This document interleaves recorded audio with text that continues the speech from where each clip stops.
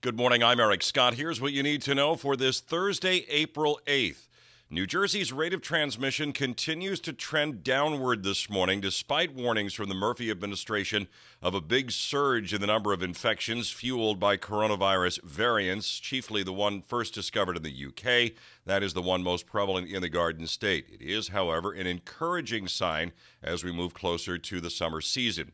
New Jersey is likely to have more than 5 million eligible adult residents vaccinated within the next 30 days. That is well ahead of that 70% mark set by Governor Murphy, though most of the major restrictions will remain on pause in terms of easing those as we head into the summertime because of concern the Murphy administration has about the rise in COVID variants millions of doses of the J&J single dose vaccine that had to be discarded because of a manufacturing error is going to impact New Jersey's supply. In fact, it'll be a dramatic impact. New Jersey is due to receive just over 15,000 doses next week after receiving more than 100,000 doses the week before.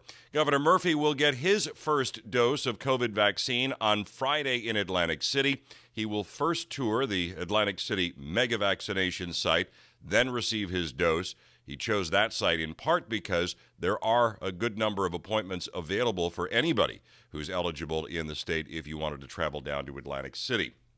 For the second year in a row, standardized testing in New Jersey will be canceled for a good number of New Jersey students. But unlike last year, these tests are going to be shifted from the spring into the fall. We have more details on the schedule at nj1015.com. Enrollment in public schools in New Jersey is now at its lowest level since Bill Clinton was president. But what education officials are not saying is what happened to those students. Are they being homeschooled? Have they been transferred to a private school? Or are they just not in school altogether? Salad bars and buffets can reopen in supermarkets they're still banned in restaurants and in places like casinos. The self serve stations had been banned at the start of the pandemic to help control the spread of COVID. When you buy a daily beach badge down the shore, you might be able to be tested for COVID or even receive a vaccination. That's a proposal from Assemblyman Ron Dancer, who says by allowing that type of easy access on our boardwalks this summer, it would ultimately help New Jersey's tourism industry. A group of undocumented immigrants are staging a hunger strike outside the State House in Trenton. They're still very upset they have not received any stimulus money from the state or from the federal government.